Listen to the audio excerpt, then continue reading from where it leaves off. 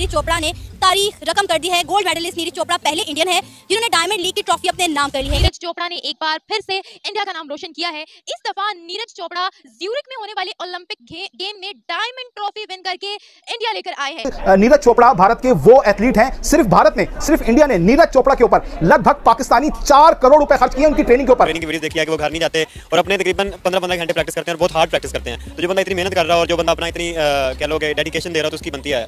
Merit पे ही लेके आते हैं इसलिए ग्रोथ पे ग्रोथ जारी जा रही आने वाले वक्तों में ये ये जो इंटरनेशनल जो ये इंडिया ना इंडिया पहले नंबर पे आ जाएगा। आपको आने वाले वक्तों में नज़र आ भी जाएगा। डेफिनेटली हम कंपेयर नहीं कर सकते हैं। किसी भी दूसरी कंट्री के साथ स्पेशली इंडिया ने जितना बजट रखा और जितना वो खर्च करे। हमारे यहाँ पे फैसिलिटीज़ नहीं है। दूसरी सबसे बड़ी चीज़ ये है कि हर स्पोर्ट्समैन या स्पोर्ट्स के अंदर जब तक आप पैसा नहीं लेके आएँगे उस वक्त तक आप आप ये एक्सपेक्ट ना करें कि कोई भी आप किसी में एक्सेल कर सकते हैं किसी स्पोर्ट्स अचीवमेंट किसी की भी हो हमें कॉन्ग्रेचुलेट करना चाहिए और अप्रिशिएट करना चाहिए कि वो आगे बढ़े और हमें भी कुछ सीखना चाहिए इन सब चीज़ों से कि हमें भी आगे बढ़ना है। बाहर भी रह गया तो मैंने ये एनालाइज किया है कि वहाँ पाकिस्तानियों को बहुत ज़्यादा डिग्रेड किया जाता है। वैसे इवन ये जो भारत में जो अब ये लोग मेडल्स जीत रहे हैं वहाँ की खवातीन और वहाँ के ये नौजवान ये 2010 ऑनवर्ड्स बाकायदा उन्होंने आइडेंटिफाई किया इनको ट्रेन किया इन पे इन्वेस्ट किया अब जाके उसके रिजल्ट्स नज़र आ रहे हैं। तो अगर हम आज शुरू करेंगे कि परसों मेडल जीत के ले आएँगे। इस गेम के बारे में किसी को पहले अवेयरनेस नहीं है। किसी को पता ही नहीं इस गेम के बारे में। आप किसी पूछेंगे वो आप कहेंगे नहीं मुझे इस बारे में नहीं है। सबसे पहले यह अवेयरनेस वो लोगों को पता होगा इस गेम में है क्या। दूसरी बात इसलिए बहुत बेहतर होता जा रहा है क्योंकि जब चाइना ने बीजिंग ओलंपिक्स 2008 करे तो इंडिया की आँखें खुली क्योंकि वो भी सवा अरब है वो भी सवा अरब है तो वो अपने आप को चाइना के बराबर समझते थे। से ऊपर को निकल गए और पाकिस्तानी स्पोर्ट्स नीचे से नीचे चली गई नमस्कार दोस्तों, जय हिंद। दोस्तों, स्वागत है आपका हिंदुस्तानी स्पेशल एच डी के कौन नए वीडियो में। दोस्तों, भारत के गोल्डन बॉय कहे जाने वाले नीरज चोपड़ा अब डायमंड बॉय बन चुके हैं। उन्होंने ज्यूरिक्स के अंदर हो रहे ओलंपिक गेम में उन्होंने सबसे फ़र्स्ट नंबर पर अपना रैंक ला करके उन्होंने भारत के लिए डायमंड मेडल उन्होंने अपने नाम कर लिया है। दोस्तों, भारत के खिलाड़ियों ने इस समय भारत के लिए बहुत ही बड़े बड़े इतिहास रचे हैं और भारत की जितने भी लड़कियाँ खेले, जो खिलाड़ियाँ हैं, उन्होंने भी भारत के लिए ऐसे ऐसे मेडल लाए हैं जिसको देख के पाकिस्तानी जल उठते हैं। अभी हाल में ही कॉमनवेल्थ गेम में हो रहे खिलाड़ियों ने बहुत ही अच्छा प्रदर्शन दिया जो कि भारत के खिलाड़ी थे और उन्होंने उसमें भारत का नाम रोशन किया है। फिर से एक बार नीरज चोपड़ा ने भारत के लिए एक ऐसा काम कर दिखाया जिससे भारत को हमेशा उनके ऊपर गर्व होगा। दोस्तों पाकिस्तान की मीडिया है वो हमेशा भारत की कामयाबी पे चीखती है चिल्लाती है और देखते हैं आज की आज क्या कह रही है पाकिस्तान की मीडिया। तो देखते हैं पूरा वीडियो और मैं मिलता हूँ आपसे वीडियो के लास्ट इंडिया के शाइनिंग स्टार ओलंपिक स्टार जिन्हें गोल्डन बॉय का भी नाम दिया गया है। नीरज चोपड़ा के बारे में आज हम बात करेंगे। नीरज चोपड़ा ने एक बार फिर से इंडिया का नाम रोशन किया है। इस दफ़ा नीरज चोपड़ा ज्यूरिक में होने वाले ओलंपिक गेम में डायमंड ट्रॉफी विन करके इंडिया लेकर आए हैं। जिस तरह तरह से उन्होंने पहले गोल्ड विन किए सिल्वर विन किए और अब डायमंड ट्रॉफी विन की है। इंडिया को ओलंपिक स्टार बना दिया है। क्यों इंडिया अपने स्पोर्ट्स में, एथलेटिक्स में, ओलंपिक्स में इतना आगे जा रहा है? उसके बरक्स अगर हम पाकिस्तान की बात करें तो पाकिस्तान में हमें इस तरह का रुझान नज़र नहीं आ रहा इस तरह के प्रेफरेंसेस नज़र नहीं आ रही है। और अगर मैं बात करूँ पाकिस्तान के कौमी खेल नेशनल सपोर्ट हॉकी की तो वो भी अपनी वैल्यूज़ इस वक्त खो बैठा है। नीरज चोपड़ा ने तारीख रकम कर दी है। गोल्ड मेडलिस्ट नीरज चोपड़ा पहले इंडियन है, जिन्होंने डायमंड लीग की ट्रॉफी अपने नाम कर ली है। 88.44 मीटर तक भाला फेंक। मेरिट पे ही लेके आते हैं, ये इसलिए ग्रोथ पे ग्रोथ जाई जा रही आने वाले वक्तों में ये ये जो इंटरनेशनल जो ये इस टाइम इंडिया ना इंडिया पहले नंबर पे आ जाएगा। आपको आने वाले वक्तों में वो नज़र आ भी जाएगा। जी बिल्कुल, वो बहुत अच्छा प्लेयर है और हमें उससे काफ़ी मोटिवेशन है और हमारे प्लेयर्स को भी चाहिए कि वो भी उससे सीखें। जिस तरह से उनकी कोचिंग है, हमारे कोचेज़ को भी चाहिए कि देखें जो हमारे अंदर फॉल्ट वगैरह आ रहे हैं, जो चीज़ें आ रही हैं, वो अपनी वो कमियाँ दूर करें और इन फिर हम भी इसी तरह आहिस्ता आहिस्ता तरक्की की तरफ़ जाएँगे कि मैं बाहर भी रह के आया तो मैंने ये एनालाइज किया है कि वहाँ पाकिस्तानियों को बहुत ज़्यादा डिग्रेड किया जाता है। मत और नीरज बहुत अच्छा प्लेयर है बहुत अच्छा प्लेयर है। उसको सारी दुनिया अप्रिशिएट करती है मेरे कहने या ना कहने से तो कोई ख़ास फ़र्क नहीं पड़ेगा।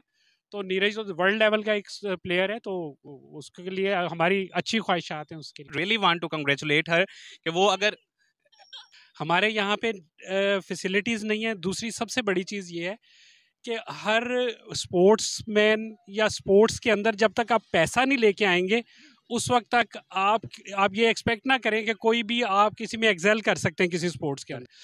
हम लोगों में प्रोफेशनलिज्म नहीं है। उन लोगों में प्रोफेशनलिज्म बहुत ज़्यादा ट्रेनिंग की वीडियोस देखी है कि वो घर नहीं जाते और अपने तकरीबन पंद्रह पंद्रह घंटे प्रैक्टिस करते हैं और बहुत हार्ड प्रैक्टिस करते हैं। तो जो बंदा इतनी मेहनत कर रहा है और जो बंदा अपना इतनी कह लो कि डेडिकेशन दे रहा हो तो उसकी बनती है। अचीवमेंट किसी की भी हो हमें कॉन्ग्रेचुलेट करना चाहिए और अप्रिशिएट करना चाहिए कि वो आगे बढ़ें और हमें भी कुछ सीखना चाहिए।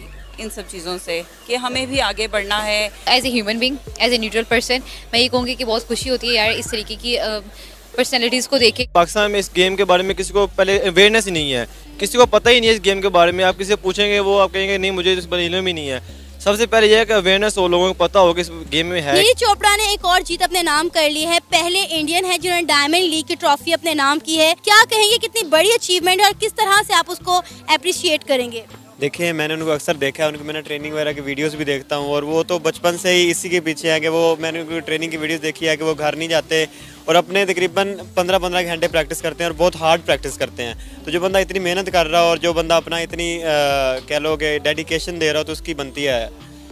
डिजर्व करता है फिर वो बंदा इतनी बड़ी जीत तो डिजर्व करता है। बिल्कुल ऐसा ही है। ये एक बहुत बड़ी अचीवमेंट है जैसे हमारे एक अरशद नदीम साहब थे उन्होंने भी इस गेम में हिस्सा लिया और उन्होंने भी गोल्ड मेडल जीता था।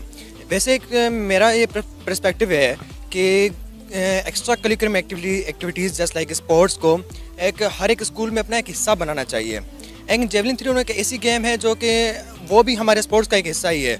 तो हमें चाहिए कि हम उसे भी ज़्यादा से ज़्यादा प्रमोट करें। जैसे कि काफ़ी सारे स्कूल्स में इस गेम को इतना जनरलाइज करना चाहिए, इतना प्रमोट करना चाहिए अवेयर करना चाहिए पीपल को बच्चों को स्टूडेंट्स को कि इस गेम में वो भी हिस्सा ले सकें। आप क्या कहेंगे? इस गेम के बारे में ये कहूँगा कि पाकिस्तान में इस गेम के बारे में किसी को पहले अवेयरनेस ही नहीं है। किसी को पता ही नहीं है इस गेम के बारे में। आप किसी से पूछेंगे वो आप कहेंगे नहीं मुझे इस बारे इल्म ही नहीं है। सबसे पहले यह है कि अवेयरनेस हो लोगों को पता हो कि इस गेम में है क्या। जब मतलब कि अब देखें इंडिया का प्लेयर उन्होंने बहुत अच्छी परफॉर्मेंस दी है और वो उसने जीता भी है। पहले नीरज चोपड़ा हमेशा गोल्ड जीते थे। इस दफ़ा उन्होंने डायमंड लीग की पूरी ट्रॉफी अपने नाम कर ली तो मेरा ख्याल है ये बहुत बड़ी अचीवमेंट जी बहुत बड़ी अचीवमेंट है। इसके लिए हमें चाहिए कि हम भी अपने मुल्क में इस गेम को प्रमोट करें। इस पर हम बच्चों का मतलब कि स्कूल में और गेम मतलब कि एक पूरा सेटअप सेटअप बनाएँ कि इस गेम पर ज़्यादा ज़्यादा मेहनत हो। और हम हम भी आगे आए, हम भी जीते trophy. Gold medalist Neeraj Chopra, जिसे हमेशा हमने गोल्ड विन करते हुए देखा है, उन्होंने डायमंड लीग में जो ट्रॉफी है फाइनल ट्रॉफी वो अपने नाम कर ली और पहले इंडियन है जिन्होंने डायमंड लीग का ये टाइटल अपने नाम किया। नीरज चोपड़ा भारत के वो एथलीट हैं सिर्फ़ भारत ने सिर्फ़ इंडिया ने नीरज चोपड़ा के ऊपर लगभग पाकिस्तानी चार करोड़ रुपए खर्च किए उनकी ट्रेनिंग के ऊपर। डेफिनेटली हम कंपेयर नहीं कर सकते हैं। किसी भी दूसरी कंट्री के साथ स्पेशली इंडिया ने जितना बजट रखा और जितना वो खर्च करे हम अपनी जो भी लिमिटेड बजट या अपने लिमिटेड सोर्सेज के अंदर हमारे पास पाकिस्तान में खर्च किया जाता है। और जुबैर साहब इवन ये जो भारत में जो अब ये लोग मेडल्स जीत रहे हैं वहाँ की खवातीन और वहाँ के ये नौजवान। ये 2010 ऑनवर्ड्स बाकायदा उन्होंने आइडेंटिफाई किया इनको ट्रेन किया इन पे इन्वेस्ट किया। अब जाके उसके रिजल्ट्स नज़र आ रहे हैं। तो अगर हम आज शुरू करेंगे ये नहीं कि परसों ही मेडल जीत के ले आएँगे। अच्छा, दूसरी बात इसीलिए बहुत बेहतर होता जा रहा है क्योंकि जब चाइना ने बीजिंग ओलंपिक्स 2008 कराए तो इंडिया की आँखें खुली क्योंकि वो भी सवा अरब है वो भी सवा अरब है तो वो, वो अपने आप को चाइना के बराबर समझते थे आयुओं से ऊपर को निकल गए और पाकिस्तानी स्पोर्ट्स नीचे से नीचे चली गई। तो वीडियो में आप लोगों ने देखा कि किस तरह से जो पाकिस्तान की मीडिया है, वो इस समय नीरज चोपड़ा की सराहना कर रही है और कह रही है कि अगर हमारे यहाँ के भी जो कोच हैं, वो अगर अच्छे से अगर ट्रेनिंग देते हैं हमारे खिलाड़ियों को तो हम लोग भी बेशक अपना नाम रोशन करेंगे। लेकिन पाकिस्तान के अंदर में ऐसा कभी हो नहीं सकता, क्योंकि वहाँ की जो कोच है, वो केवल अपना पेट भरने के लिए खिलाड़ियों का टिफ़िन तक चुरा के खा जाती है। पिछले कुछ दिनों में ये वीडियो काफ़ी ज़्यादा वायरल हुई थी इस टॉपिक पर की। तो अभी बात करते हैं नीरज चोपड़ा की। अगर आपको नीरज चोपड़ा का ये काम पसंद आया होगा तो कमेंट में जय हिंद लिखना मत भूलिएगा। तो दोस्तों मिलते हैं नेक्स्ट वीडियो में। नए टॉपिक के साथ में, तब तक के लिए बाय बाय